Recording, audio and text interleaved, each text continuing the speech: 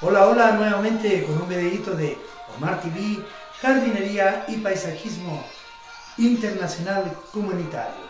Un saludo para mi gran patrocinador, Defensoría Jurídica Servicios Legales, más 56 96 320 87 79 en la región de Coquimbo. Si tú tienes un, problem, un problemita legal, solo tienes que llamar a Defensoría Jurídica. No te olvides, Gracias por compartir y darle un me gusta a mis, mis videitos. Bien, hoy día el tema que vamos a hablar es muy interesante, ¿ya? Las plantas y la, der, y la dermocosmética.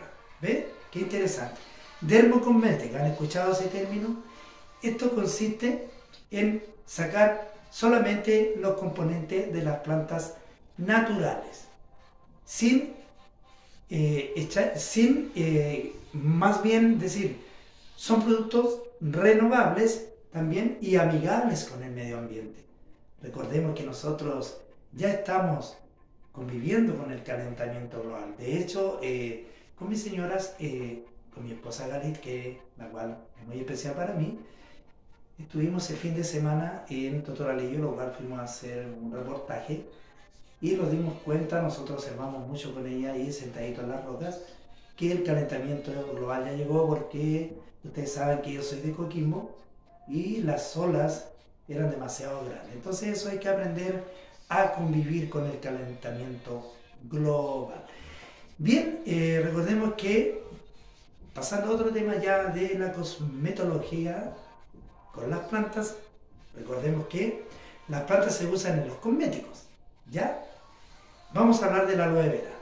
¿Para qué me va a servir la aloe vera a mí? Ella me va a ayudar a irritaciones, a ayudar cuando la gente tiene quemaduras en la piel, tiene picores, tiene dermatitis y además sirve como un bálsamo natural refrescante y un super hidratante. ¿Qué son las plantas cosméticas? Todos nosotros podemos preguntarlo. Nosotros tratamos de hacerlo más simple sin complicarlo, ¿ya? Se encarga también de limpiar y hidratar la piel, eh, además alivian todo lo que son los trastornos estomacales. Las propiedades de las plantas usadas en las cosméticas son medicinales, antisépticas y antiinflamatorias. Vamos a saludar nuevamente a mi gran patrocinador, Defensoría Jurídica, Servicios Legales, más 56 63 20 87 79 aquí en la región de Coquimbo. Y no te olvides, gracias por compartir y darle un me gusta.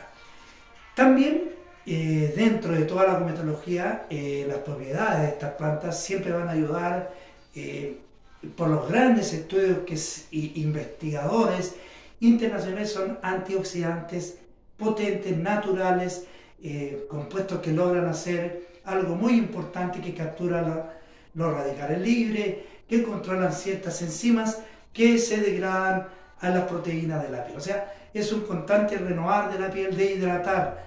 Además, la, además, la piel tiene una serie de proteínas como los colágenos. Bien, yo le voy a nombrar para que ustedes puedan hacer su huertito terapéutico en la casa. Pueden tener aloe vera, anoten por ahí, el árbol de té. El hinojo este se encuentra en, en Coquimbo porque hay mucho acá en el Sauce, camino a San Ramón, ya, bambú, la rosa mosqueta, la caléndula y los cosméticos que también se realizan eh, con plantas.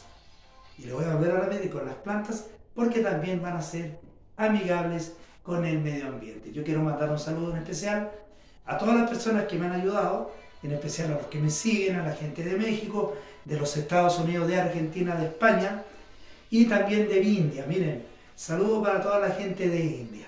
¿ya? Y también un gran saludo a mi gran esposa Gali.